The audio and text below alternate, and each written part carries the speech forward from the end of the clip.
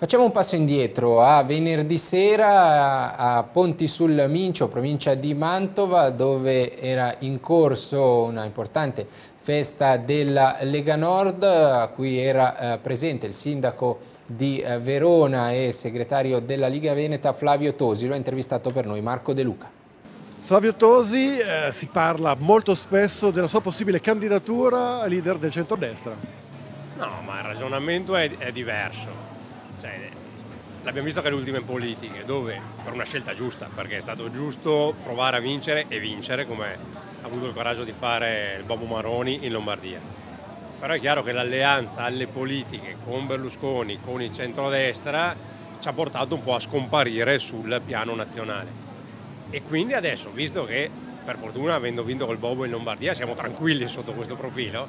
prima o poi ci saranno le elezioni politiche, speriamo prima che poi,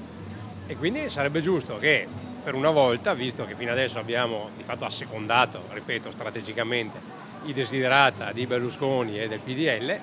ce la giochiamo. E quindi secondo me è giusto fare le primarie del centrodestra dove la Lega avrà Tosi, altri, eh, Zaia, Cota, chiunque voglia candidato alle primarie, il PDL i suoi e siccome la Lega ha tanti dirigenti giovani, bravi, preparati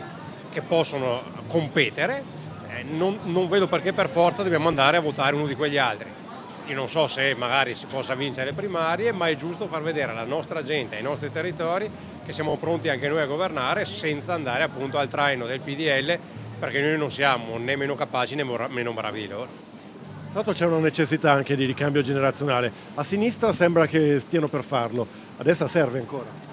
Beh, allora la Lega nel centrodestra la Lega l'ha fatto, l'ha fatto in maniera netta perché dal segretario, da Bobo Maroni, ai governatori, insomma la classe dirigente, ai segretari, è tutta gente giovane. Eh, il PDL ha fatto molto meno ricambio, ho detto con molta tranquillità. Nel PD non ce l'hanno fatta perché se vinceva Matteo Renzi lo facevano, invece vincendo Bersani di fatto l'offerta politica delle ultime politiche era Bersani, Berlusconi, eh, Grillo, eh, Monti, tutti giovanotti.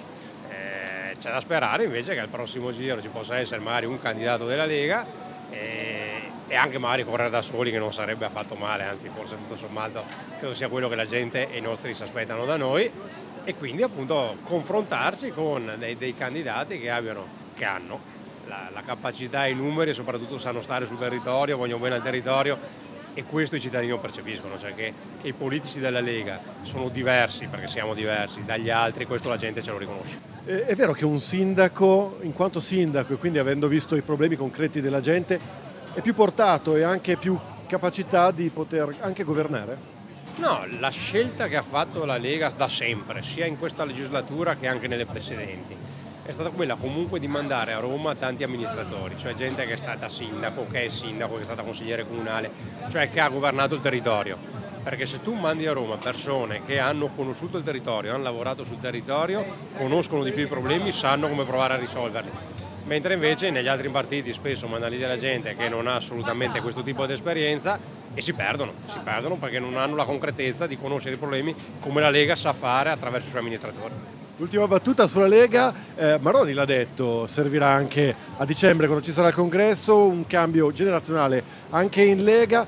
lei insieme a Salvini è uno dei papabili possibili, le fa un po' spavento anche questa corsa? Ma io, eh, al di là di, di, competere con Matteo, che è un amico davvero, eh, e fra l'altro sì,